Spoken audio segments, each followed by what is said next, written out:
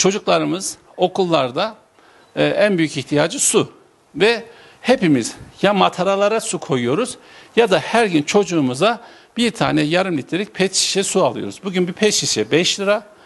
20 e, günde verdiğinizdeki rakam ortaya çıktığında ailelere büyük bir yük getiriyor.